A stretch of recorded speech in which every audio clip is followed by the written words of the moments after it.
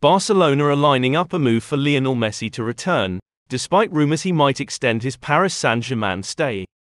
Club president Joan Laporta is reportedly preparing to make some drastic and aggressive moves to make Messi's return a reality. Stay tuned as Sportsjet takes a look at Laporta's plans.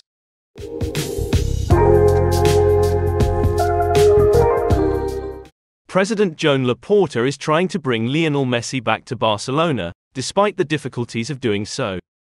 He is reportedly ready to pull yet another economic lever to finance the Argentinian legend's return to the club. But first of all, what is an economic lever? Economic lever is a phrase that Laporta has continuously used for much of his presidency. The economic levers, in very simple terms, is the club selling its assets to get money. This was announced in a meeting with the club's members earlier in 2022 when the club fell into financial crisis and was nearly unable to sign or renew player contracts. There are seven levers, of which four have been used so far. The first involves selling 49.9% of Barca licensing and merchandising company. That reportedly netted the club around 300 million euros. The second lever revolves around 25% of the club's La Liga TV rights. Barcelona have already sold 15% for 207 million euros to 6th Street Capital for 25 years. Additionally, they could sell another 10%, but it remains to be seen whether that extreme option is taken.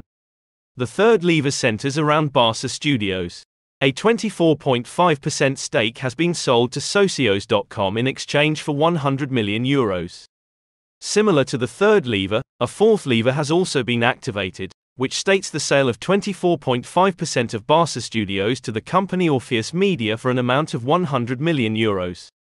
Another way they are working on generating enough money to afford Messi's salary is by offloading players and wages. Club legend Gerard Piqué announced his retirement earlier this season. Sergi Roberto and Sergio Busquets have not been offered new contracts despite Xavi's wishes, Ousmane Dembele had to take a 40% pay cut and Memphis Depay is set to be shown the exit door so that Barcelona is able to free up their wage bill to fund Messi's potential return. Laporta first wants to get in touch with Messi, who is still celebrating Argentina's World Cup win as he missed PSG's first league game after the World Cup. The chief thinks now might be the moment to turn the page on the summer of 2021, when Messi was forced to leave with the club unable to renew his deal. Economically, the situation is complicated. Barcelona can't get close to matching what PSG can offer Messi due to the La Liga's financial restrictions. They are conscious that at the end of the season he is out of contract so can arrive for free, so at least there would be no transfer fee. They are working on a way to afford his salary, with the club legends return their number one priority. The goal would be to give Messi the send off he deserves when he retires at the club and make him a future ambassador for Barca on a global scale.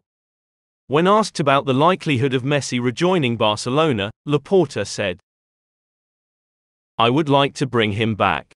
It will not be easy, but I think with the correct strategy we could do it. I think Messi has been the most important player in our history. During a long period of success, he was the leader. He was the one who excited our supporters. We will do our best to have Messi ending his career at Barcelona and being applauded by everyone. For us, he is the best player of all time. We have had him here and I am convinced that in his heart he is a culé and will always be linked to Barca. At the moment he is at PSG and we would very much like him to come back one day, but we'll see. Laporta's move is seen as a huge gamble, as the club needs to be able to earn the money that Messi's stardom carries with him in order for the club to survive. We would like your take on the situation. Is Barcelona taking too huge a risk with Messi or is he exactly what Barcelona needs to save their financial future? Let us know in the comments below. And as always, don't forget to subscribe, like, and ring that notification bell. This is SportsJet, signing off.